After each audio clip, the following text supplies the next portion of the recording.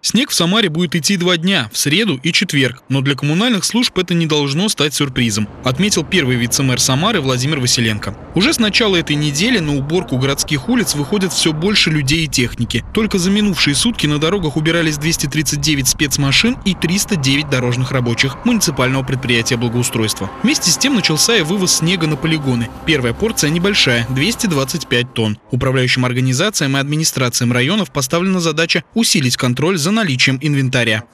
Это штатная ситуация, только чтобы она для нас не превратилась в форс-мажор. На еженедельном совещании в Департаменте городского хозяйства говорили и об украшении города новогодней иллюминацией. Подключением занимается муниципальное предприятие «Самара Горсвет». Почти во всех парках города монтаж гирлянд закончен. Сегодня завершаются работы в Струковском саду. Кроме того, Владимир Василенко поручил добавить праздничных огней на аллее трудовой славы. Надо посмотреть для понимания картины, что так Новый год связан с э, годом 70-летия победы советского народа в Великой Отечественной войне, поэтому вот этот момент, он, тем более триумфальная арка, она именно...